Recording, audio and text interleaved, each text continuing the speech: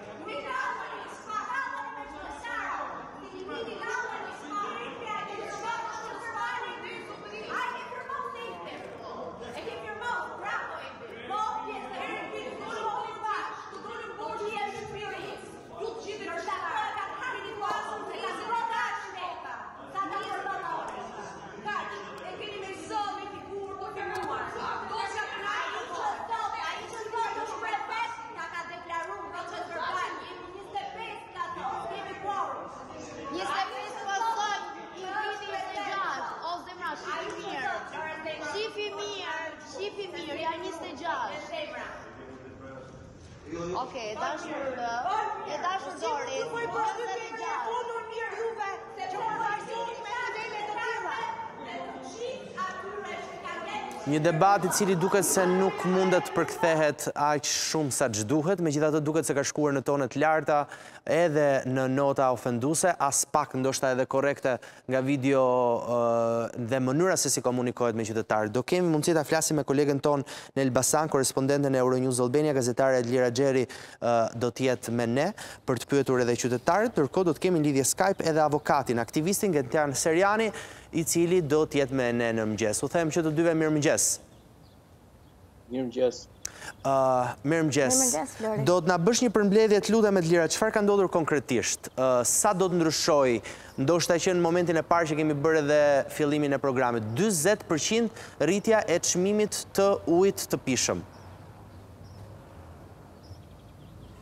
Është e vërtetë, është shoqëruar me tensione e gjithë mbledhja e Këshillit Bashkiak, kjo për shkak të propozimit për rritjen e çmimit të ujit, ashtu siç ndodhi edhe në bashkitë e tjera. Mhm. Po ndërkohë këtu në Elbasan, Këshilli Bashkiak, një pjesë e këshilltarëve të djathtë kanë kërkuar një protestë qytetare, çka ka bërë që në momentin që janë mbledhur qytetarët të ketë agravime dhe tensione mes qytetarëve dhe këshilltarëve të majtë. Qartë, si do të përkthehet ky dyzet për qind, të lutem, në vlera?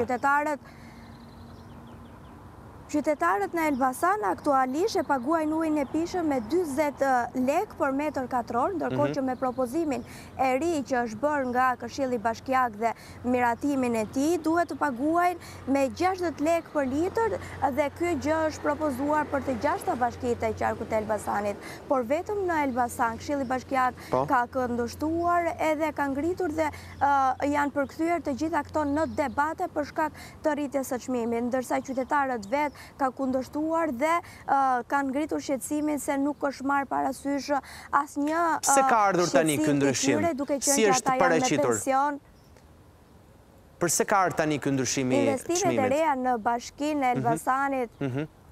Investimet e reja në bashkinë e Elbasanit për të bërë të mundur 24 orë ujë të pijshëm në ditë kanë bërë mhm. që këshilltarët propozojnë rritjen e çmimit të ujit dhe duket se ata i kanë siguruar të gjithë votat që duhet për ta miratuar në Këshill Bashkiak, mhm. por kjo padyshim që edhe pse është miratuar në Këshill Bashkiak kanë ngritur shqetësimin e këshilltarëve të tjerë duke menduar që janë zgjedhur aty me votën e qytetarëve dhe për të ngritur zërin kundër padrejtësive që u bëhet. Sipas tyre, në Elbasan nuk ofrohet aq sa duhet për të pasur një rritje çmimi. Sigurisht që është duke u punuar në gjithë qytetin për të bërë të mundur ujin e ri me kanalizime të reja mhm. apo për ta bërë të mundur edhe 24 orë ujë, por sipas tyre nuk është e mundur cilësia apo edhe mënyra po. oraret që janë aktualisht nuk e përkthejnë në këtë çmim nuk e përkthejnë edhe nuk shkon dot te qytetari pa marrë pra. parasysh pastaj faktin që ka familje të varfra duke qenë që Elbasani konsiderohet një qytet me familje mesatare Por edhe familje të varfra edhe pikërisht pra, ne kemi janë ata të cilët nuk i përballojnë në vlerën, ka qenë më parë në vlerën e 40 lek për metër kub. Tashmë, po, tashmë do të tashmë do të ndryshojë, do të bëhet 60 lek 60 lek për metër kub, apo jo. Ndërkohë, bëhet dot një përllogaritje një familje se është shumë e thjeshtë themi dhe ne që ndryshon vlera nga 40 në 60 lek për metër kub. Një familje sa ka paguar më përpara dhe sa do të paguajë tani? Pra përtej vlerës së metër kub, sa shpenzohet mesatarisht në një familje të zakonshme në Elbasan? Le ta marrim tek mosha e tretë, ka familje të cilët unë i kam intervistuar mesditën e djeshme, të cilët janë shprehur se kanë paguar njëzet e pesë, tridhjetë mijë lekë, ndërkohë që ata theksojnë faktin se janë me një pension apo me një ndihmë ekonomike, Tetëdhjetë apo njëqind e tridhjetë mijë lekë që i shkon pensioni një të moshuari në qytetin e Elbasanit. Vetëm me këtë llogari të thjeshtë, ata thonë që padyshim që është tejet e vështirë të paguajnë këto që harxhojnë aktualisht e jo më të ketë rritje të tjera, sepse duhet thënë që jo vetëm uji i pijshëm, po janë dhe dritat, janë dhe shpenzime të tjera dhe familjeve në Elbasan, kryesisht moshës së tretë apo edhe personave që janë me ndihmë ekonomike, nuk ju mjaftojnë të mbyllin muajin. Dhe kjo i ka bërë që të ngrihen edhe të tensionohet edhe më tej, çka çoi edhe në agravim të situatës, ku një i moshuar, i cili merrte pjesë në këshillin bashkiak, si qytetar, për të dëgjuar gjithë këtë vendim që është marrë nga këshilli bashkiak, shkoi deri në agravim dhe me një dosje ku qëndronin procesverbalet e këshilltarëve, të gjuante një nga këshilltarët e majtë në Elbasan. Qartë, a ka qenë kryetari i bashkisë Gledian Llatja, ka qenë aty në mbledhje, duke qenë se është një temë shumë sensitive? Jo, ishte nënkryetari i bashkisë së Elbasanit, për shkak të axhendës së ngjeshur, kryetari ditën e djeshme nuk ishte në mbledhjen e këshillit bashkiak, por ishte nënkryetari i bashkisë, por duhet thënë që mbledhja nuk u bë absolutisht, Për shkak të gjithë tensionit, mbledhja nuk u zhvillua në asnjë moment të saj. A është firmosur pra ky vendim apo nuk ka kaluar dhe është shtyrë për një moment të dytë? Është shtyrë për një moment të dytë, pra për shkak të gjithë agravimit dhe për shkak të mungesës së pakët të këshilltarëve që i lejohet Këshillit Bashkiak të konfirmojë apo ta çojë më tej një një vendim i cili merret. Dakord, Edlira, do ishte shumë e rëndësishme që të kishim edhe ne reagimin e qytetarëve nëse do kemi mundësi të pyesim besoj është tepër herët, po një pjesë e madhe me sa shoh, një pjesë e mirë, shoh që edhe janë duke qarkulluar në bulevardin e Elbasanit.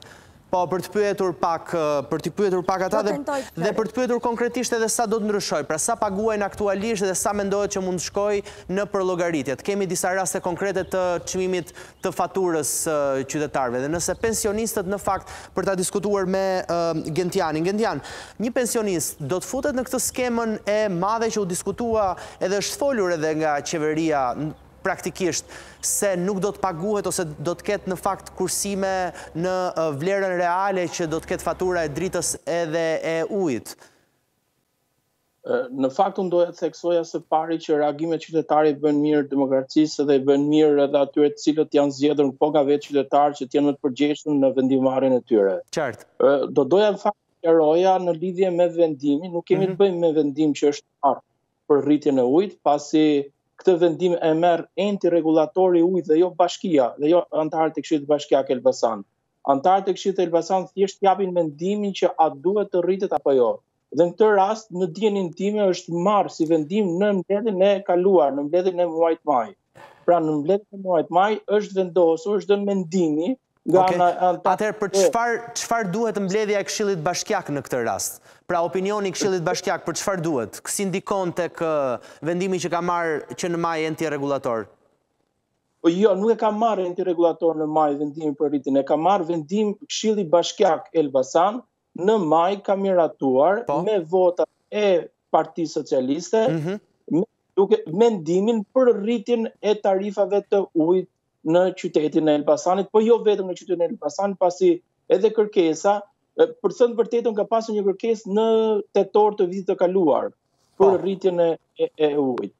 Po enti rregullator i ujit e ka kundërshtuar këtë kërkesë të shoqërisë rajonale ujësjellës kanalizime Elbasan, me disa arsye. E para ka qenë sepse nuk është dhë nuk është dhënë mendimi i pushtetit vendor për tarifat e propozuar të shprehur në vendimin përkatës dhe të konfirmuar nga prefekti i Qarkut për legjitimitetin e tij. Mm -hmm. Pra duke munguar ky dokument, është menduar nga ana e Këshillit Bashkiak Elbasan që të kalojë dhe të plotësohet si dokument. Atëherë, pra për ta sqaruar edhe një herë thjesht, e thënë thjesht Genti.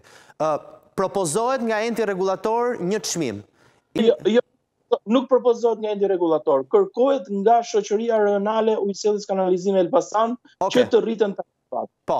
Enti rregullator propozohet dhe një çmim vendoset një çmim dhe së fundmi është menduar që të rritet me nivelin 20% kostoja e apo tarifa e ujit. Jo të lutem, duhet ta kuptojnë një herë qytetarët që janë duke na ndjekur. Pra bëhet një propozim. Më pas, ku kalon ky po. propozim? propozimi shkon te tek enti rregullator i ujit për miratim. Ëh. Mm -hmm. Është rregullatori i ujit që e përcakton nëse do të rriten tarifat apo jo. Okej. Okay. Thjesht Këshilli Bashkiak jep mendim. Dhe në këtë rast Këshilli Bashkiak socialistët e qytetit të Elbasanit kanë menduar që po duhet të rritet tarifa e ujit në qytetin tonë. Ndërkohë që ka pasur kundërshtime nga ana e deputetëve të Partisë Demokratike. Qartë, përfaqësuesve të Këshillit Bashkiak. Tani për ta kuptuar, po. nëse enti rregullator, enti rregullator ka të drejtë e ka detyrim ligjor për t'i kërkuar Këshillit Bashkiak një mendim apo është një zgjedhje po. vetëm e këtij rasti? Jo, jo, në çdo rast enti rregullator i ujit bashkë me kërkesën që vjen nga e, e, ujësjellës kanalizime të çdo qyteti, mm -hmm. duhet t'i bashkëngjitet edhe mendimi i pushtetit vendor dhe proces verbali i zhvillimit të seancave dëgjimore me publikun që në dijenin time nuk ka pasur seanca dëgjimore me Nuk e ka patur. Ne pamë një video ku një pjesë e qytetarëve reagojnë ndryshe. Pra nuk janë krah këshillit bashkiak në këtë rast. Tani për ta kuptuar, në momentin që këshilli bashkiak nuk e aprovon këtë propozim, apo këtë kërkesë mendimi që vjen nga enti rregullator, çfarë ndodh? Autoriteti i ujësjellës kanalizimeve nuk e zbaton këtë rritje të çmimit? Nuk e dërgon për miratim tek enti rregullator i ujit. Pra, nëse ujësjellës kanalizime Elbasan do të rrisi tarifat. Po. Merr dokumentin pikërisht mendimin nga nga Këshilli Bashkiak, merr proces verbalet e zhvillimit të seancave dëgjimore, merr dhe një sërë dokumentash të tjerë dhe ja çon entit rregullator të ujit. Enti rregullator i ujit shikon dokumentacionin dhe o vendos rritjen e tarifave ose vendos kundërshtimin siç ka vendosur në tetor të vitit 2023. Nuk ja ka lejuar entit rregullator, entit të shoqërisë rajonale ujësjellës kanalizime Elbasan, rritjen e tarifave të ujit. Mm -hmm. Dhe për ta theksuar se sa është rritja, nëse sot një familje elbasanase harxhon 10 metër kub në hyrje dhe 10 metër kub në dalje. Okay. Do të thotë, ka paguar 4000 lekë të, të, pra 400 lek për metër kub, ka paguar rreth 4.000 lek të, të reja për 10 metra kub. Pra rritja... Pra ti thua që për 10 metra, për 10 metër kub, praktikisht ata, një familje paguan 400 lek të reja. ka, me rritje do të paguaj jo më 400 lekë, po do të paguaj 600 lekë. E kuptoj. E kuptoj. Pra me sa 600 lekë për 600 lekë të reja për hyrje dhe 600 lekë të reja për dalje, sepse aq metra katror sa hyhet, aq metra katror përllogaritet edhe për dalje. E pra, qartë. Pra, qytetarëve elbasanas do të jenë rreth 400 lekë të reja kosto plus me këtë mendim që kanë dhënë anëtarët e Këshillit Bashkiak të Partisë Socialiste në qytetin e Elbasanit. Për mua shqetësimi kryesor si qytetar i Elbasanit është zhvillimi i seancave dëgjimore me publikun. A ka pasur realisht zhvillim të seancave dëgjimore me publikun? Nëse po, A duhet të bëhen publike këto seanca dëgjimore, cilët kanë qenë ata qytetarë, të cilët kanë dhënë mendimet e... si e bën Këshilli Bashkiak këtë njoftim që ti thua që duhet të ketë edhe seanca dëgjimore me publikun? Ky ka qenë dhe një nga kundërshtimet e për të treguar pak dhe cila cila kanë qenë kundërshtimet e e anëtarëve të Partisë Demokratike. Mhm. E para ata kanë kundërshtuar sepse nuk ka qenë argumentuar rritja e këtyre tarifave. Mhm. E dyta ka qenë kundërshtimi sepse nuk ka qenë kuorumi në mbledhjen që është miratuar ky ky vendim nga ana e, e Këshillit Bashkiak. Dhe dje debatet kanë lindur për shkak se ka pasur dhe video që janë publikuar nga disa anëtarë të, të Këshillit Bashkiak Elbasan të nga ana e Partisë Demokratike, që ka qenë ka qarkulluar një dokument që firmosej atë ditë dje po. për mbledhjen e zhvilluar në në muajin maj. pra që ka qenë një lloj plotësimi të të metave që kanë rezultuar... Procedurale që kanë qenë të mbetura që nga koha, që nga seanca e mëparshme. Qartë. Që mund të nxjerrë si të pavlefshme gjithë procesin e miratimit të këtij vendimi. Mhm. Të këtij vendimi. Pra, për të treguar, ky ka qenë edhe mendoj unë problemi kryesor, sepse qytetarët dje kanë dalë pasi është miratuar si vendim, apo si mendim nga ana e Këshillit Bashkiak Elbasan për rritjen e tarifave, por që e vendos përfundimisht do rriten apo jo tarifat e ujit në qytetin e Elbasanit, është Enti Rregullator i Ujit, që për të cilën unë mendoj se duhet të ketë një lloj reagimi edhe në tek ky institucion. Qartë, është Enti Rregullator. Dakord, megjithatë Enti Rregullator e ka procedurën e saj dhe të zgjidhjes pra në njëfarë forme vetëm nëse ka një reagim qytetar më shumë sesa një reagim institucional, sepse ia kalon praktikisht Këshillit Bashkiak dhe Këshilli Bashkiak e ka si procedurë më pas po. të vazhdueshme në njëfarë forme. Gjithsesi, pra për të kuptuar me sistemin e ri të pagesës dhe vlerë dhe tarifës së ujësjellës kanalizimeve, ti thua që mesatarisht Një familje në Elbasan do të paguajë ose do të ketë katërqind lekë, katër mijë lekë të vjetra, siç i themi, apo katërqind lekë të reja më pak në buxhetin familjar nëse aprovohet kjo. Dhe kjo i bie vetëm të një muaji, pra të mos e shumëfishojmë këtë me dymbëdhjetë muaj të vitit. Po, po, pra bëhet fjalë për një muaj. Unë solla, bëra një përllogaritje për dhjetë metër kub që mund të harxhojë një familje në muaj. Nëse harxhon 10 metër kub në një muaj, Pra një familje do të ketë mesatarisht 50.000 lekë të vjetra apo 5.000 lekë të reja në vit më pak nga buxheti i saj për t'i shpenzuar për ushqime, për t'i shpenzuar për veshmbathje apo për nevoja të tjera të cilat janë të rëndësishme në shpenzimet familjare. Po, e saktë. Kur flasim për rritjen e përqindjes, si qytetar po edhe aktivist në këtë rast, a është Elbasani ai që ka pësuar rritjen më të madhe? Ose propozohet për rritjen më të madhe? Flori, po t'i referohemi disa ditë më parë ne pamë që Këshilli Bashkiak Shkodër me vota unanime nuk pranoi që të rriten tarifat e ujit në qytetin e rësë.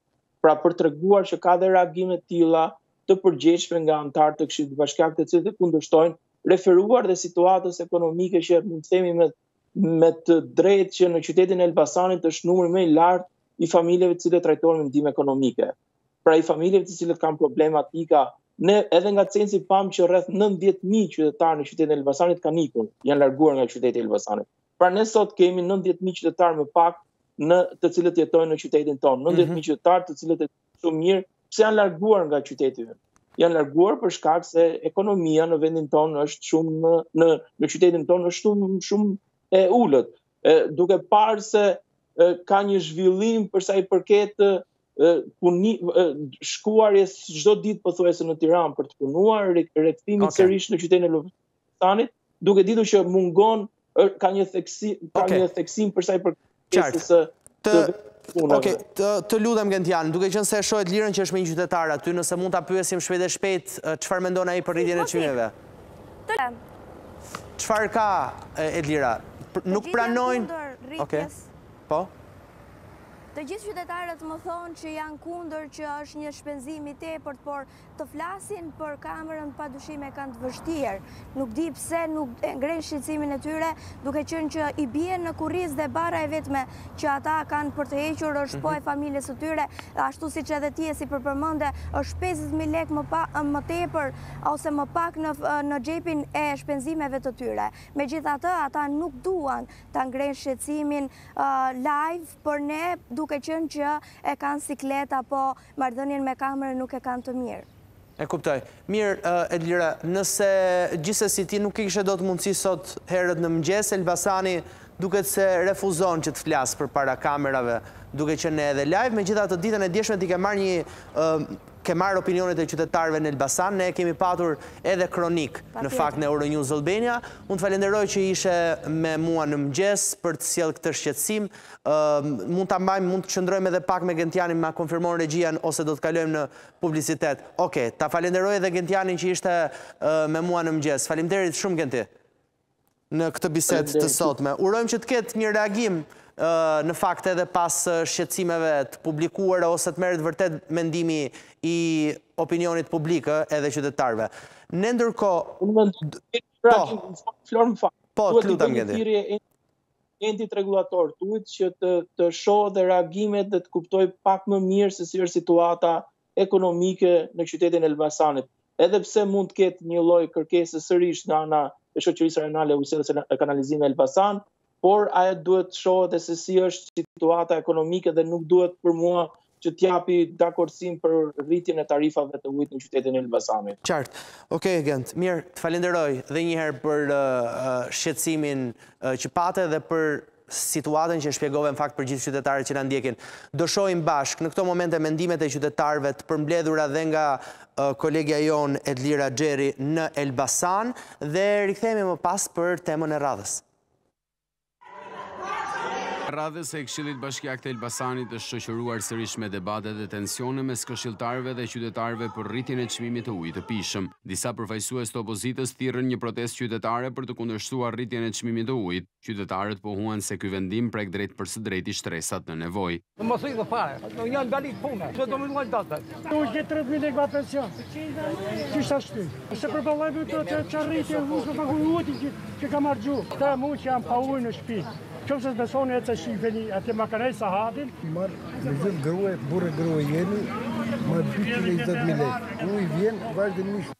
Një lek edhe po të jetë e rëndë, se te ne me të ardhurat, ardhurat pa të ke. E ne nuk e më sipi, nuk na dalin as për ujë, as për drita. Një tarifë uji e cila nuk justifikohet as nga ana teknike, as nga ana ligjore, e një SHA-je, një shoqërie aksionere, e cila kërkon 50% rritje tarife në Elbasan, ndërkohë që Elbasani nuk ka ujë. Më tej qytetarët iu bashkuan mbledhjes së këshillit duke kërkuar anulimin e këtij vendimi. Madje në tension e sipër një qytetar goditi me dosjet e letrave një prej këshilltarëve. Aktualisht konsumatorët familjarë paguajnë për ujin e pijshëm dyzet lekë për metër kub. Ndërmarrja e ujësjellësit ka kërkuar çmim të unifikuar për gjashtë bashkitë e qarkut Elbasan në gjashtëdhjetë lekë për metër kub.